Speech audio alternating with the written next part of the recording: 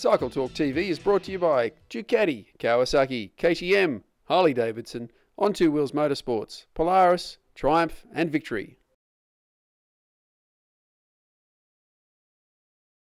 Today on Cycle Torque TV, we test two Triumph Thunderbirds. We ride the Polaris Ute, we get out there on an XV1000 Classic, we check out electric superbike racing, and Chris even learns to ride a sidecar.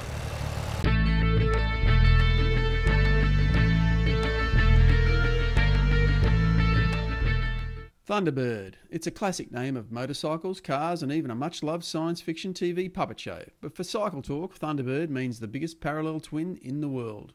The modern Triumph Thunderbirds. There are four in the range, evoke power, comfort, and grunt. From the first Thunderbird of 2009 to the bigger and more powerful Storm to the latest LT and Commander, the modern Thunderbird takes on the American V twins for grunt, style, and big bike presence. What started as a 1600 grew to 1700 with the Thunderbird Storm, a more aggressively styled and powered Thunderbird, and this year Triumph introduced the LT and Commander. The latest model is the $22,490 Commander, which I tested in the September issue of Cycle Torque, which you can still download via the iPhone and iPad app or from cycletorque.com.au, and it offers massive torque and plenty of power in a naked cruiser chassis with two-tone paint and an interesting mix of classic style with modern touches. The guards, tank, and seat are classically styled, the twin headlights, alloy wheels, and fat tyres thoroughly modern. The LT is the touring machine of the lineup, but it's a classical tourer with laced 16 inch wheels at both ends, an easily removed touring screen, leather bags, and a pillion backrest on possibly the most comfortable touring seat ever made. Priced at $23,490, it's the most expensive Thunderbird, but the standard equipment list is long too, and having weather protection and luggage capacity makes this Thunderbird the most versatile ever. You can download the June 2014 issue of Cycle Torque to read more about the bike. The Storm is a little out there, tough styling, and the most potent motor. This is the Thunderbird for the petrol head, although none of the models are exactly short on power and torque. At $20,990, it offers a lot of horses per dollar. Cycle Torque first tested the Storm in the April 2011 issue, which you can still read online. The still available classic Thunderbird is still popular, and you'll save a few bucks too, for it's the only T-Bird under 20k priced at $19,490. The engine's a bit smaller, being a 1600, and the equipment level not quite as extensive as the newer machines, but that's in keeping with the lower price. Cycle Torque first tested the bike back in November 2009, and you can still read that online at cycletorque.com.au. Now we're going to have a little bit more detailed look at the Thunderbird LT and the Commander, both new bikes for 2014. Triumph Thunderbird LT, LT for light touring. This is a new model of Thunderbird. It's been significantly changed from other Thunderbirds that are still available. It's got a lower seat, heavily padded seat, in fact triple layer foam inside the, inside the rider's seat, double layer foam in the passenger seat to make it even more comfortable when you're touring.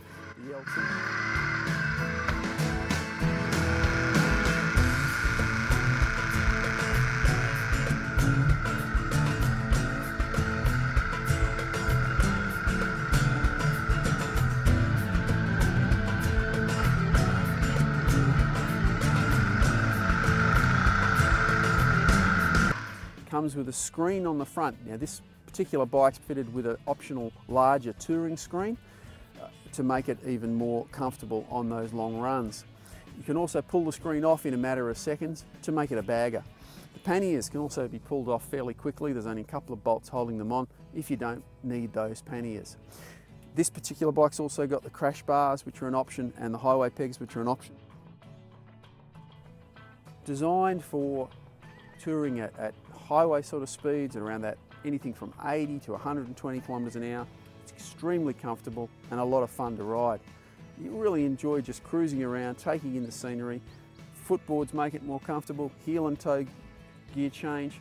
Very nice machine to just cruise around on. The sixth gear's an overdrive and you really know it, the revs are hardly ticking over when you're in top gear.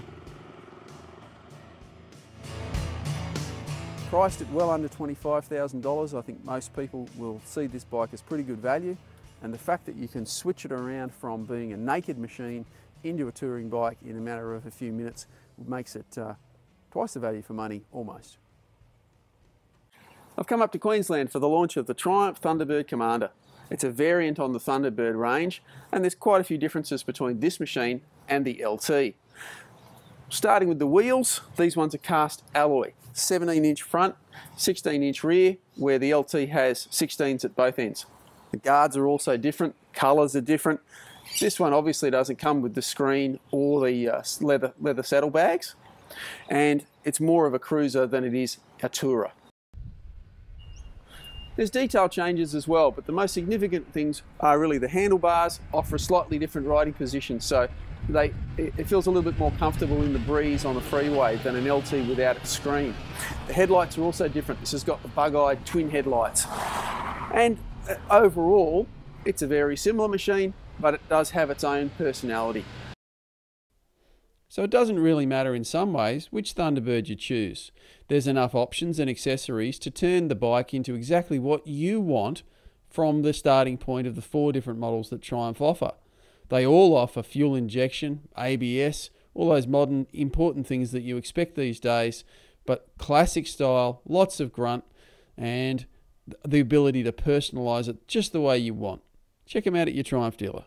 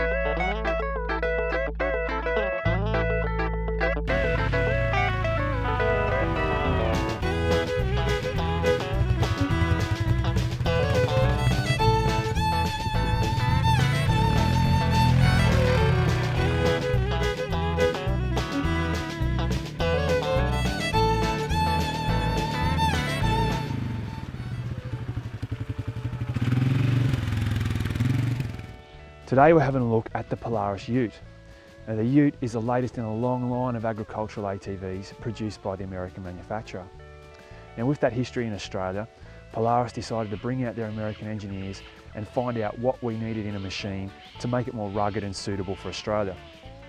Now the sort of things they looked at and introduced were sealing the drive shaft splines, the suspension bushings and the ball joints, which means that you get longer intervals between servicing and your machine is just going to last longer overall. Okay, so in addition to these mechanical features that were a big driver in the Ute's development, Polaris have also got a lot of other features specifically designed for farmers to make it a good machine for using on the land. First of all, we've got a machine that can be registered straight off the factory showroom floor.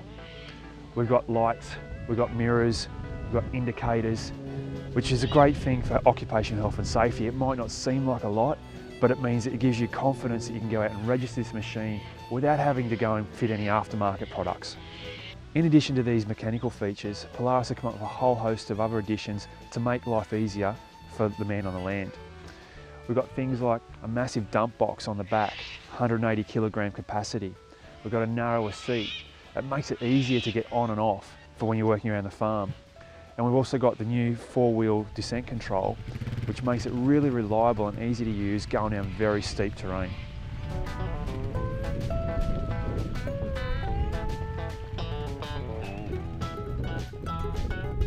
To really test them out though, we're going to take this for a ride and see how well they perform.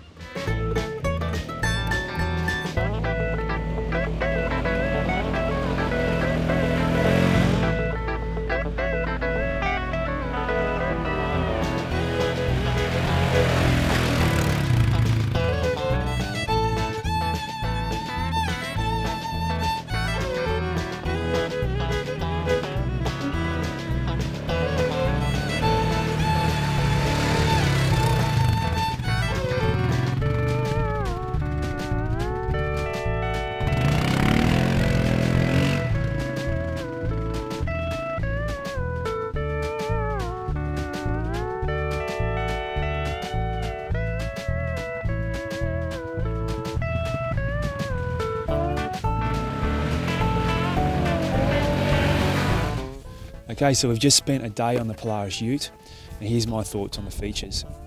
I really like the seating position. It feels a little bit higher than on other quads, but it's more relaxed. You just don't have to put the effort into riding the machine that you normally would. The power steering is very direct and very light. I just don't think you're going to get as tired after working for a day on a bike like this.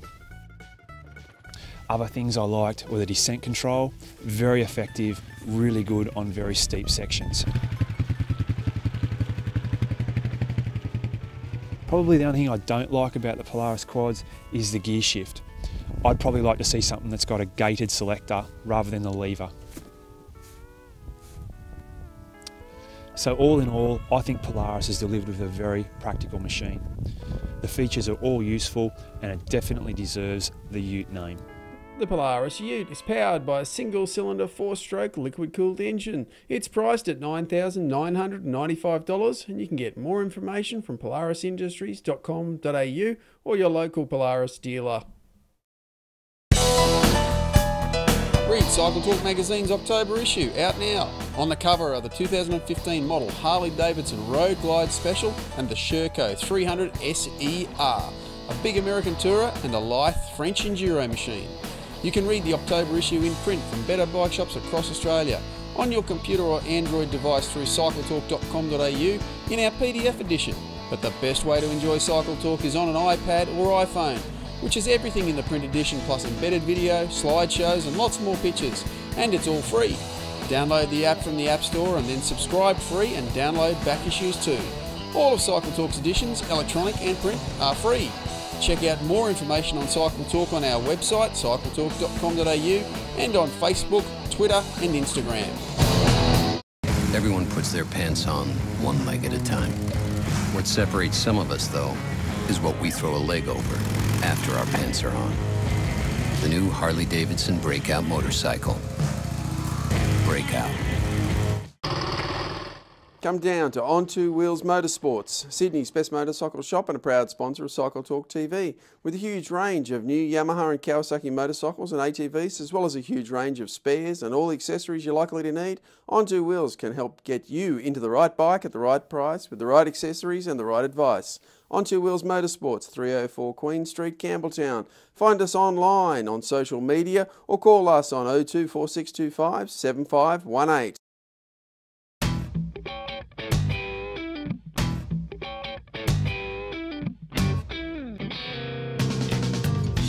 Didn't know anything till I was told everything about you. And though I tried to hide, my smile gets wider every day. But now I can't deny the white of your eyes. It got me feeling the strain of how I couldn't speak every time I heard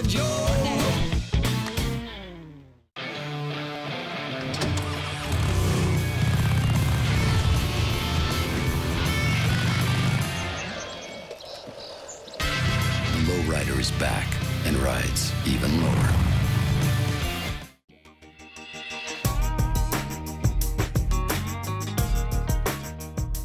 I'm with uh, John Taylor from Ural Australia now. John brings in these Ural sidecars, but he also has an- another bit of a uh, a sideline business called Ural of Oz, which is to teach people how to ride sidecars. Now he does use these Urals to do that, but anyone who wants to come and learn to ride a sidecar, then can come to uh, John and he'll teach them how to do it. John, over 20 years ago, I rode a sidecar, one and only time, an old Goldwing, and it was pretty terrifying. I'm going to test one of these, so I need to know how to ride it. And uh, so I'm coming here with an open mind, and you're the, guy, obviously, to teach me. So it's totally different to a, a motorcycle, I get that. So uh, where do we start? The main difference, Chris, is that in your brain, you have a program that you've developed over a period of time for riding a motorcycle. When you hop on a sidecar, you need a new program and it takes a while to learn it. Okay. And the reason for that difference is that on a solo motorcycle, you're counter steering to go around the corner, you're turning left to go right. Okay. When you get on a sidecar, you have to turn right to go right. And it has to be a direct steering. The other thing about a motorbike sidecar is that most of your braking is in the bike and most of the acceleration is coming from the back wheel of the bike. When you come to a corner like this, uh, you can understand that the bike is being pushed forward by its engine and the sidecar is just along for a freewheeling ride. So when you, when you accelerate, the steering is actually turned to the left, like that. And when you're going the other way, you have the opposite effect. You're going along the road and you want to turn around this way, and if you do shut the throttle off, the sidecar will actually roll ahead and it pushes it round the corner this way. With all this advice on board, Chris was keen to jump on the new Ural and give it all a go. Here, Chris negotiates a right hand turn by using a little bit of back brake and backing off the throttle.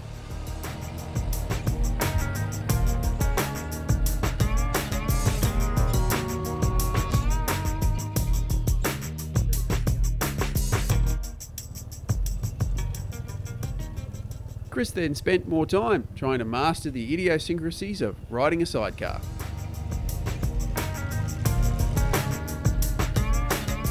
Left hand turns required more throttle, but as the speeds picked up, so did the third wheel. And getting that third wheel up leads us to the next stage of training, which is controlling the machine with that third wheel in the air. Well, it's a bit daunting. Um, and John was saying, when you get it up on two wheels, this is to learn how to really, I guess, balance the vehicle, you know, and uh, the sidecar. You're saying that once you go back to two wheels, the same techniques that you use with counter steering come back into play. So, and it, your brain automatically switches. You don't even think about it. Uh, it's pretty good fun though. After a little bit more practice, John was happy to jump into the sidecar with Chris so Chris could find out what it's like to ride with a passenger, which of course is the whole point of having a sidecar. So we've covered the principles of using a sidecar here, but really get some training if you're actually going to operate one of these vehicles from an experienced sidecar operator. Ural of Oz sidecar training is $440 per day and get more information from uralofoz.com.au.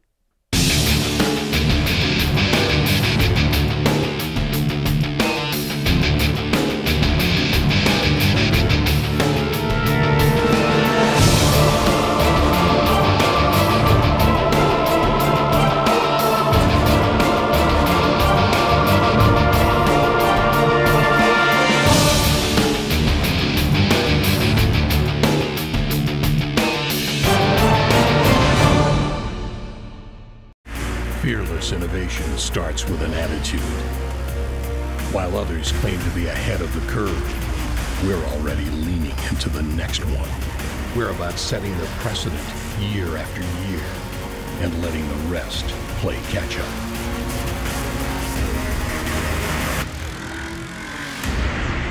They ride to keep up with today.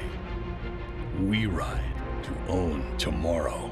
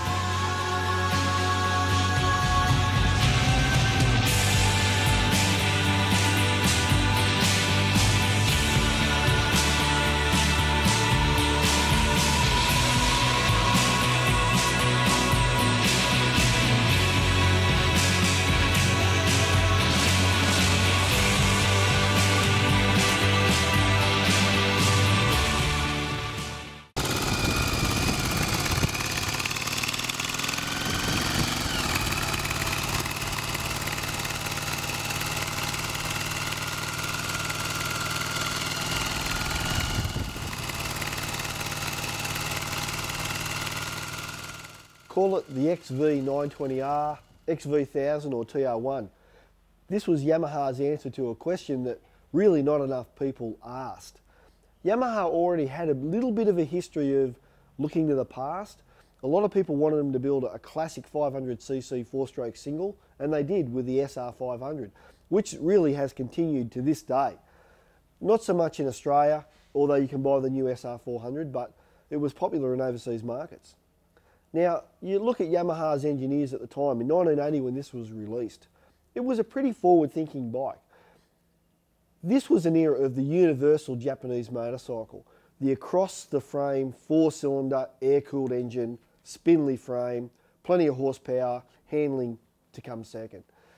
So to branch out into a V-twin was a pretty bold move in 1980 for Yamaha. I often wondered what sort of uh, sake the, the engineers were drinking at the time. Did they have a picture of a Vincent Rapide up on the wall as a little bit of inspiration? Of course, you know, they weren't going to copy that, but maybe give them the, uh, that inspiration or impetus to, to look to the future.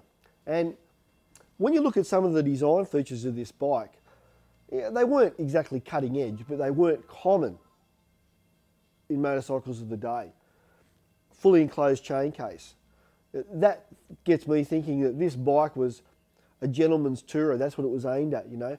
A bike that was made to do lots of miles. So with that enclosed chain case, the chain could handle that sort of stuff. CV carbs, nice riding position, nothing spectacular, nothing outstanding, but all in all, a pretty good package. But why didn't it really sell? Was it, did people just not like it or the styling was a bit average? In overseas markets, you could uh, get the uh, XV920R as it was called over there with a little tailpiece and RD350LC inspired graphics. And to me, it looked a lot better than this does. It look, this looks a bit plain. But generally speaking, you know, it had all the hallmarks of a, a bike that was just made to do long distances and, and do it well.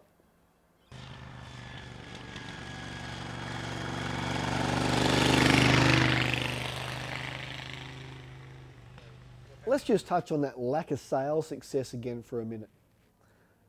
The competition for this bike, I see it, were, were bikes like the R100 RS, Ducati's Darmah, maybe a Moto Guzzi, Le Mans, what, Mark II, Mark III at the time. And it was all about more relaxed high speed touring rather than massive acceleration like some of the Japanese bikes at the time. Now in 1980, this bike got Two Wheels magazine Bike of the Year, but really, as I said, the sales just, well, they didn't exist really. So it makes me think that at, at that time, the motorcycle sales globally did tank. So I wonder if the bike was just really a victim of that, more so than a victim of a poor design.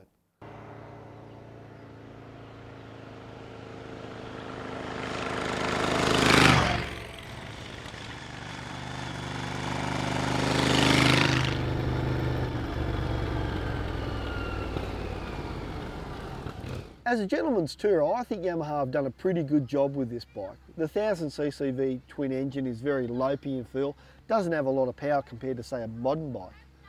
And the long travel suspension, it's got an air shock on the back, it's really made to ride the bumps well. And it's more towards, when I compared it earlier with the BMW R100 RS or Ducati Darmah, it's more towards the, the BMW end, the, the more touring end rather than the sporty. This bike does handle pretty good for what it is. And you think, even though it wasn't a big seller, this engine went for many, many years after this bike was discontinued in the XV1000 cruiser range and had 750cc variants as well, but with shaft drive. So Yamaha really did do a good job when they made this bike and it really is a shame that it didn't sell. If you really want to get into an interesting form of motorcycle racing and build your own superbike, go electric superbike racing, where you can literally build your own bike from the ground up. Cycle Torques ventured down to Winton Raceway in Victoria recently to check out some of the bikes that have been built up for this unique and unusual racing series. Now, Danny Ripperton's been around the electric bike scene, the racing scene, for uh, for quite a while now. And uh, Danny, when did you build this bike? I started building it five years ago. Uh, the first the first 12 months was just sourcing parts from around the world and trying to find out uh, what kind of motor to put in it, what kind of batteries to put in it, and I haven't even started building or cutting or welding anything, you know, for the first 12 months. Okay.